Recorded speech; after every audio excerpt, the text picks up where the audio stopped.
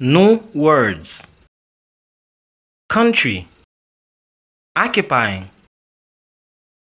Western. Island. Dominican Republic. Population. Negro.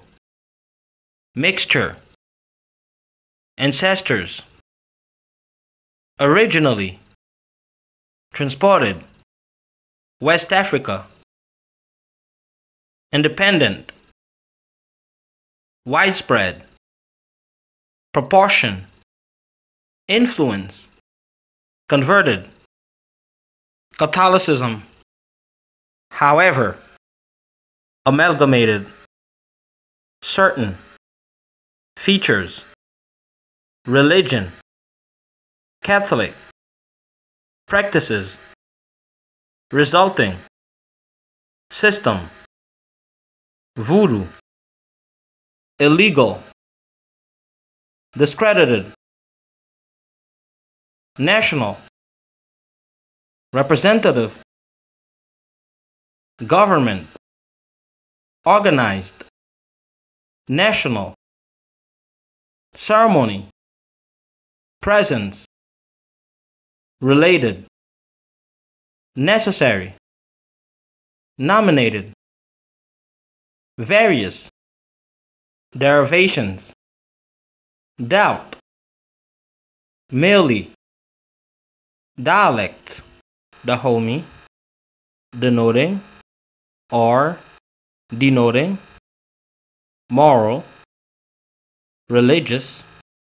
Particular. Believe. Religion. Devilish. Bloodshed. Involves. Intentional. Blasphemy. Crucifix. Dishonored. Number. Minor. Baptism. Sacrifice. Animals. Occasions. Important. Marvelous. Phenomena. Phenomenon. Follows. Practitioner. Trance. Vested. Regarded. Proceeds. Alter. Consume. Sacrificial. Prophetic. Pronouncements. Another. Phenomenon. Zombies. Revitalized. Extent. Because. Possibility. Newly. Several. Decay. Advanced. Until. Happens. Dug. The Voodoo. Haiti is a country occupying the western third of a large island of the West Indies, and the rest of which lies the Dominican Republic. Unlike that of the latter, the population is Negro. Many, however, with a mixture of white blood. Their ancestors were originally transported from West Africa, although now and for a large part of its history independent. Haiti was at one time under French rule and a French dialect known as Creole is widespread.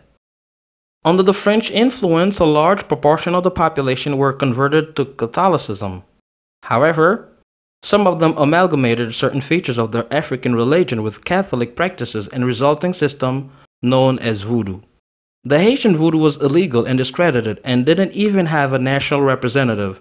It was during Aristide's government back in 2004 they have organized a national voodoo ceremony in which the presence of all Ougan, Kanzo, and other related adepts was necessary and that's when they have nominated Max Beauvoir as the Ati National. Various derivations have been given for the word voodoo, but there is no doubt that it is merely a word from one of the dialects spoken in Dahomey, denoting the moral and religious life of the race that speak that particular dialect. Some people believe that voodoo is a religion. Some say it is more than a religion. It is the way of life. While some others see it as nothing but a devilish rite. In the voodoo, there's a good deal of bloodshed, and it is fair to say that it in no way involves intentional blasphemy, and the presence of the crucifix is far from being dishonored.